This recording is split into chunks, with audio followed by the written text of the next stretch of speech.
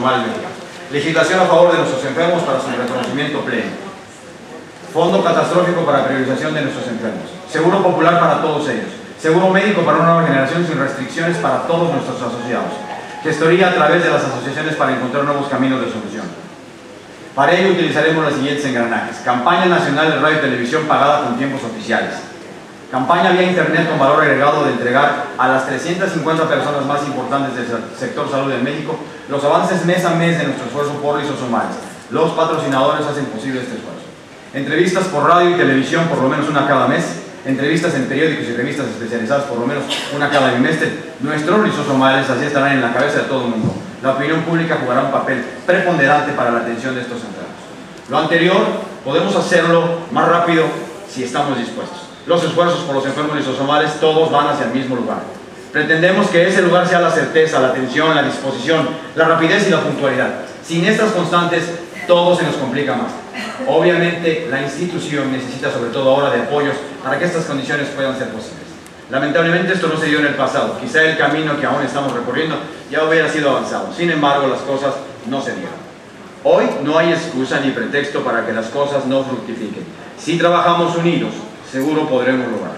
Si todos hacemos nuestro trabajo de manera puntual, seguro, seguro estoy que nadie va a poder detenernos.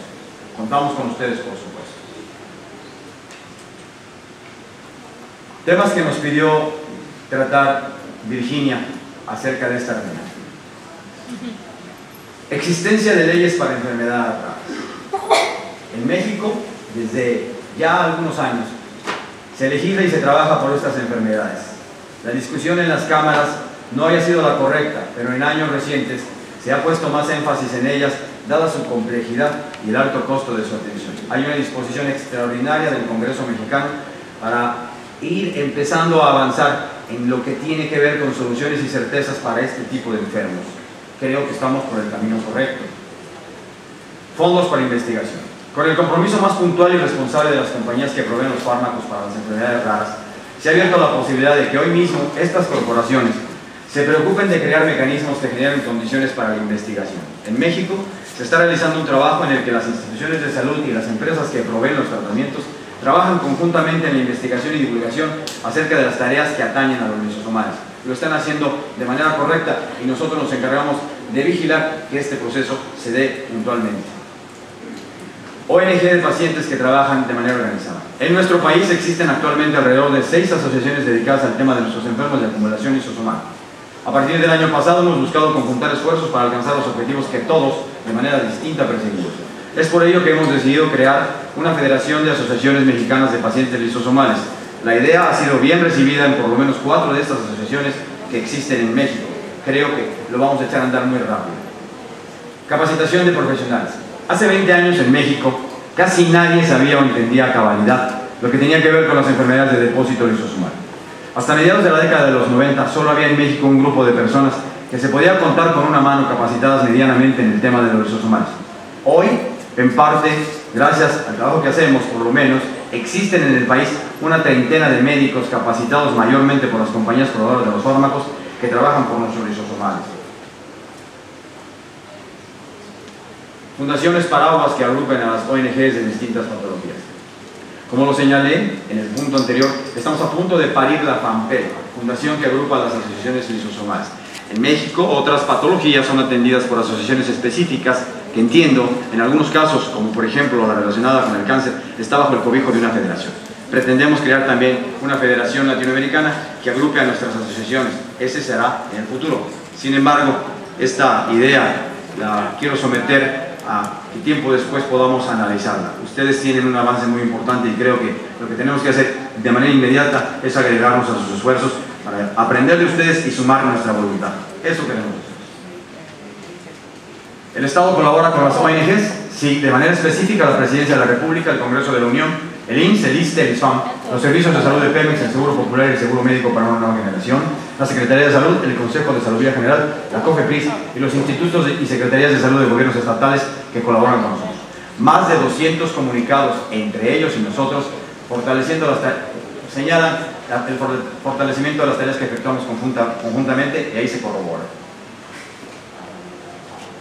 ¿Se realizan tareas de concientización y difusión las ONGs? Sí, por supuesto.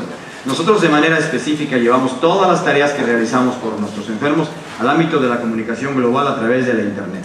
También hacemos divulgación en radio, TV, prensa, de manera periódica.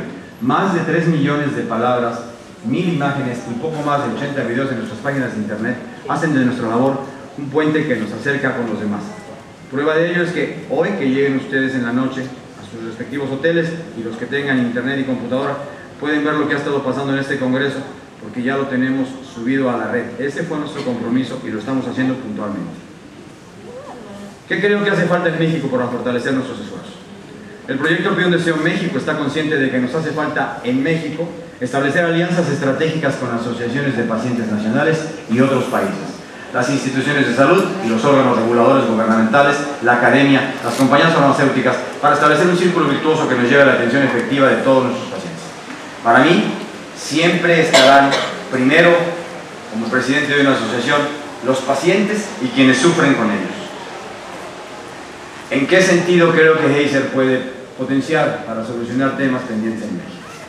En lo personal, la postura del proyecto Pion Deseo México y AP es que mientras existan entidades, instituciones, organizaciones, grupos, fundaciones o ONGs que trabajen tendiendo puentes, sumando, multiplicando y alzando la voz por nosotros, el resultado final que esperamos y que sería atención sin distingo para todas nuestras enfermedades, pronto estará más cerca de ser una realidad.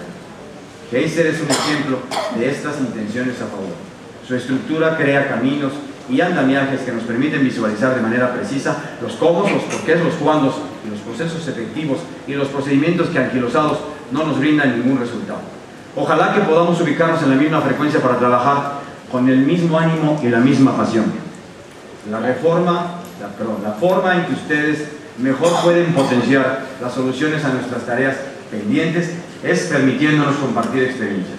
Así lo bueno, lo malo, lo mejor y lo peor puede ser analizado y dimensionado de manera precisa para después aplicar lo que proceda como solución en cada uno de nuestros países.